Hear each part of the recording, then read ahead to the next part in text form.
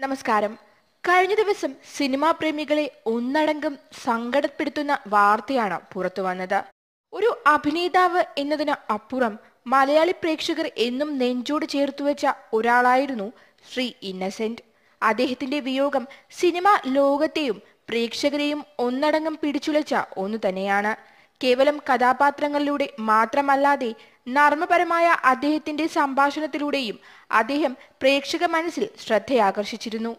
ഒരു നടൻ എന്ന നിലയിലും നിർമ്മാതാവായും സംഘാടകനായും രാഷ്ട്രീയക്കാരനായും എഴുത്തുകാരനായും അങ്ങനെ പല വിധ വേഷങ്ങളായിരുന്നു ശ്രീ ഇന്നസെന്റ് കെട്ടിയാടിയത്. എന്തിനേറെ പറയുന്നു? ചലച്ചിത്ര പിന്നണി ഗാനരംഗത്ത് പോലും തന്റെ പേര് അദ്ദേഹം എഴുതി ചേർത്തിട്ടുണ്ട്. അതിൽ കഥാപശ്ചാത്തലത്തിൽ കഥാപാത്രം മൂളുന്ന പാട്ടുമുതൽ ഇന്നസെന്റ് എന്ന പിന്നണി ഗായകൻ പാടിയ പാട്ടുകൾ വരെ മലയാളികൾക്ക് സുപരിചിതമാണ്.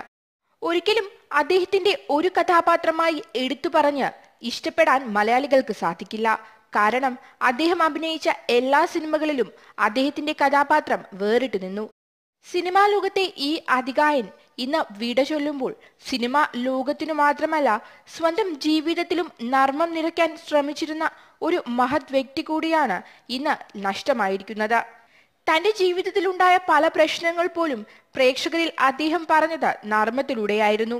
എത്ര ദുസ്സഹമായ സാഹചര്യമായിരുന്നുവെങ്കിൽ പോലും അദ്ദേഹത്തിന്റെ നർമ്മത്തിൽ അതെല്ലാം ഒഴുകിപ്പോയിരുന്നു. അതെ ഇന്ന് ആ അധികായം തന്നെ വിട ചൊല്ലിയിരിക്കുന്നു. സിനിമാ പ്രേമികൾക്കും സഹപ്രവർത്തകർക്കും ഇത് അംഗീകരിക്കാൻ പോലും സാധിക്കുന്ന ഒന്നല്ല. വിമർശനങ്ങളെ പോലും നർമ്മത്തിലൂടെ നേരിട്ട ഈ മഹത് വ്യക്തിക്ക് പകരം വയ്ക്കാൻ സിനിമാ ലോകത്ത് മറ്റൊരാൾ ഉണ്ടാകുമോ എന്ന് സംശയമാണ്.